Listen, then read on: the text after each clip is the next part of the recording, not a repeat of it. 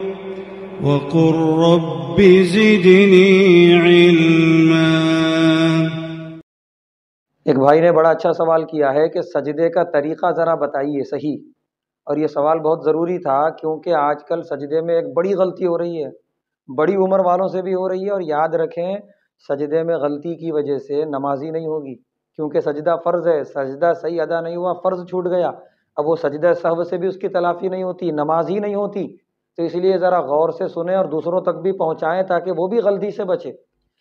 अल्लाह के नबी सल्लल्लाहु अलैहि वसल्लम ने फरमाया, सजदा सात हड्डियों पर किया जाता है। सात हड्डी। दो उंगलियाँ जो रहती हैं पैर की ज़मीन पर, ये दो हड्डियाँ हो गई।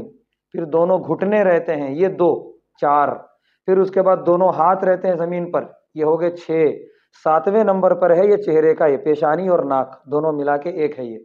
ये सात हड्डियों पर सजदा होता है, सातों का ज़मीन से टिका हुआ रहना ज़रूरी है।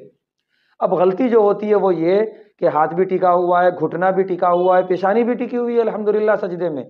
लेकिन पीछे के जो पैर हैं, अनजाने में न चाहते हुए या न जानते हुए कभी उठ जाते हैं। कभी देखा ये गया किसी के कि दोनों पैर उठे हुए हैं सजदे में। कभी देखा गया कि एक है तो एक उठा हुआ है। कभी देखा यह गया कि बार बार उठा रहे हैं, रख रहे हैं।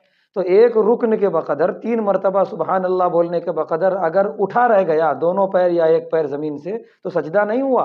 और सजदा नहीं हुआ तो नमाज़ ही नहीं हुई सिरे से। बड़ा अजीब, बड़ा अफसोस होता है देख कर के बेचारा बड़ा काम छोड़ के नमाज़ पढ़ने आया, वज़ू किया बड़े अहतमाम से, बड़े अहतमाम से सब में शामिल हुआ। लेकिन सजदा ऐसी मतलब बेतवजही से किया कि पैर जो है उसका ज़मीन पर टिक ही नहीं पा रहा है। तो उसकी सारी ये मेहनत बेकार है। उसका सारी कुर्बानी देना सब बेकार है, उसकी नमाज़ ही नहीं हुई, सजदा नहीं हुआ। तो बहुत बड़ी गलती है ये, और बहुत मामूली इस तौर पे जो है समझी जा रही है, और लोग इसमें बहुत गिरफ़्तार हैं। पूरा दोनों पैर भी दोनों घुटनों की तरह ज़मीन से टिका रहना ज़रूरी है मेरे भाइयों। जितना हो सके ये दूसरों को बताएँ, ताकि वो ये गलती ना करें। अनजाने में हो रही है गलती, और नमाजें सही नहीं हो रही हैं। अल्लाह माफ़ करे। अल्लाह हम सबको इस पर अमल की तोफ़ी अता फरमाए।